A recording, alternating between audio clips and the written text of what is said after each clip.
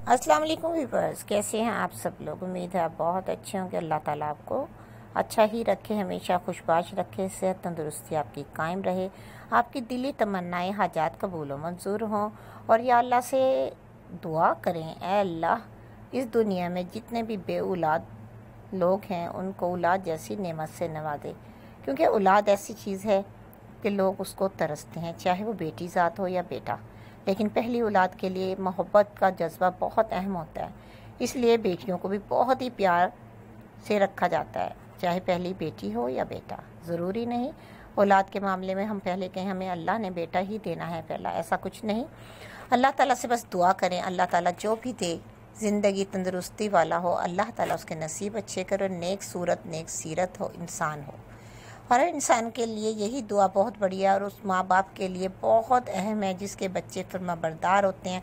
वो बहुत अच्छे इज़्ज़त करने वाले होते हैं, उनकी दिली तमन्नाएँ, आरजुएँ, दुआएँ इतनी होती हैं हमारी औलाद, इस काबिल हो कि वो हर कोई तारीफ़ करे और औलाद का जज्बा देख कर देखने वाले भी कहें वाह, क्या बात है, क्या तरबियत पाई है बच्चों ने उनकी माँ ने और बाप ने इतनी ज़बरदस्त तरबियत दी। बहुत फ़र्क पड़ता है माँ बाप की दुआओं से, तरबियत से और अंदाज से।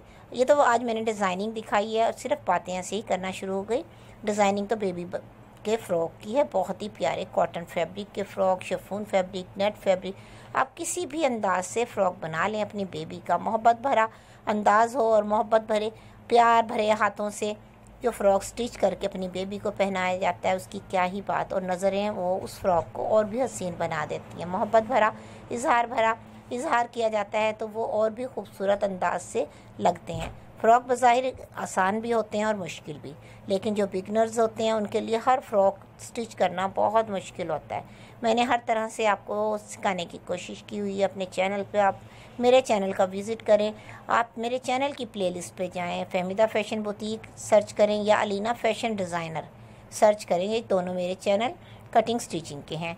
आप इनकी प्लेलिस्ट पे जाएँगे तो आपको बहुत ज़बरदस्त इसमें कटिंग स्टिचिंग मिल जाएगी। मैं ज़बरदस्त ज़रूर कह रही हूँ, लेकिन कुछ लोगों का कहना है कि वाकई ही वो कटिंग स्टिचिंग बहुत ज़बरदस्त होती है। ये उन्हीं के अल्फाज हैं जो मेरे सब्सक्राइबर व्यूवर्स हैं, और उन्हीं की तारीफ़ के बलबोते पे मैं इतना कुछ कह देती हूँ, और इन्हीं के लिए ये सब कुछ डिज़ाइनिंग लेकर आती हूँ ताकि वो खुश हो सकें। दूसरों की छोटी छोटी सी खुशियों को मद्देनज़र रखना चाहिए, एक दूसरे का साथ देना चाहिए, और एक दूसरे का ख्याल भी रखना चाहिए। छोटी छोटी खुशियों से बड़ी बड़ी खुशियाँ मिल जाती हैं। क्योंकि अगर हम किसी को छोटी सी आज खुशी देंगे, अल्लाह ताला हमें उसके बदले, उसके वसीले से बहुत बड़ी खुशी नेमतें अता करेगा। और हमारी पता नहीं कौन सी दुआएँ किसकी नज़र हुई हुई हैं और किसकी आमीन की मुंतज़र हैं। एक मेरी सब्सक्राइबर का कमेंट्स आया कि प्लीज़ जब आप स्लाइड्स बनाती हैं, डिज़ाइनिंग बनाती हैं, अपने ट्यूटोरियल्स बनाती हैं तो प्लीज़ मेरे लिए दुआ कर दें। मेरी शादी को सत्रह अठारह साल हो गए हैं।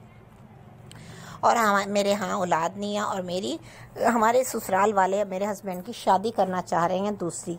लेकिन मैं बहुत परेशान हूँ और हम दोनों मियाँ बीवी बहुत खुश हैं आपस में अपनी ज़िंदगी में। मोहब्बत भी बहुत ज़्यादा करते हैं और मेरे हस्बैंड करना नहीं चाहते, लेकिन माँ बाप के हाथों मजबूर ना हो जाएँ कहीं। तो प्लीज़ आप किसी स्लाइड्स में बोल दें ऐसा। तो बाई चांस ऐसा हुआ कि मैंने अपनी एक स्लाइड्स में नाम नहीं लिया उन सब्सक्राइबर्स का, ये कहा कि मेरी एक सब्सक्राइबर हैं प्लीज़ उनके लिए दुआ करें। उनकी शादी को इतने साल हो गए क्या पता किसी की आमीन उनकी दुआ की मुंतजर बाई चांस अल्लाह का करना हुआ, वो कबूल हो गई। पता नहीं किसकी हुई। नेक बंदे की दुआ, हर इंसान ही नेक होता है, लेकिन दुआ आमीन किसी की जल्दी हो जाती है। तो अल्लाह का शुक्र हुआ। फिर उनके यहाँ खुशी हुई। उन्होंने मुझे कमेंट्स किया, आपका बहुत बहुत शुक्रिया। मैं, मैंने कहा, शुक्रिया की बात नहीं, आप अल्लाह का शुक्र अदा करें। उन्होंने कहा, अल्लाह का शुक्र है कि मैं अब उम्मीद से हूँ, आपकी दुआएँ और बस आप दुआ करें।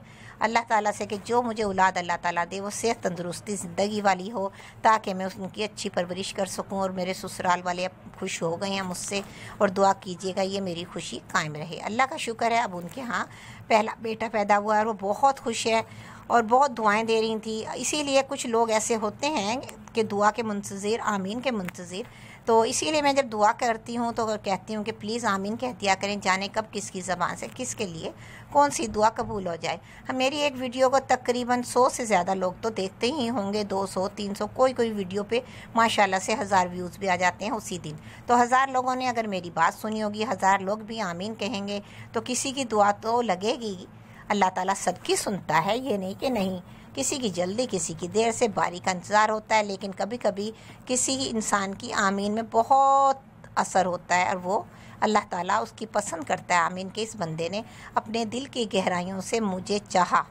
मुझे इबादत की मेरी और मैं इसकी आमीन क्यों रद्द करूँ? तो इसलिए बात कह दी जाती है, जाने कब किसकी ज़बान से कौन सी दुआ कबूल हो जाए। आप सब लोग भी मेरे लिए दुआ कीजिएगा, अल्लाह ताला मुझे भी सेहत तंदरुस्ती वाली ज़िंदगी अता फरमाए और मेरे इस काम में तरक्की हो, बरकत हो, कामयाबी हो और बे औलाद को औलाद अता करे अल्लाह ताला। और जिनके यहाँ बेटे नहीं हैं, उनके यहाँ बेटे अदा करे और बेटियों को जिनकी ज़रूरत, जिनको है, उनको